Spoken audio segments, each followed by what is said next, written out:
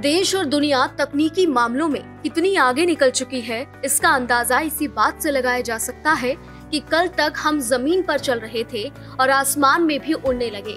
कल तक ज़मीन पर चलने वाली गाड़ियाँ थी, अब आसमान में भी उड़ने वाली गाड़ियाँ आ गई हैं। जी हाँ आसमान में हमने अक्सर या तो पंछियों को उड़ते देखा है, या फिर हवाई जहाज़ को। लेकिन अब एक ऐसी गाड़ी का आविष्कार किया गया, जो सिर्फ़ ज़मीन पर ही नहीं चलती, बल्कि आसमान में भी उड़ती है। हवा और ज़मीन में चलने वाली एयर कार ने स्लोवाकिया के दो अंतर्राष्ट्रीय हवाई अड्डों, नाइट्रा और ब्रातिस्लाव के बीच 35 मिनट की सफल परीक्षण उड़ान भरी है।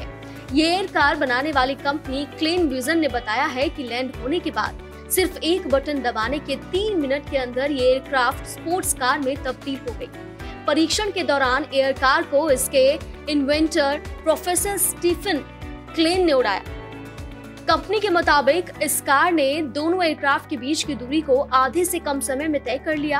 आप भी देखिए एयरकार की एक झलक हमारे इस खास रिपोर्ट में।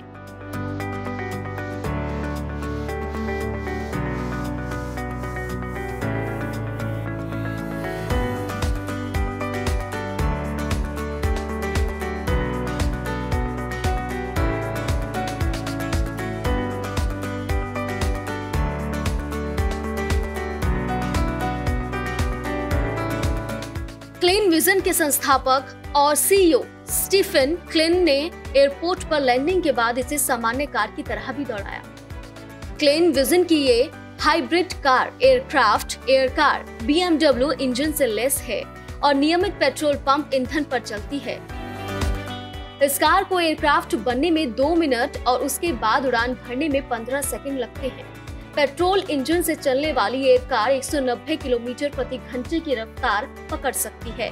कंपनी के मुताबिक ये hybrid flying car fixed propeller system के साथ 8,200 फीट ऊंचाई पर 1,000 किलोमीटर दूरी तय कर सकती है।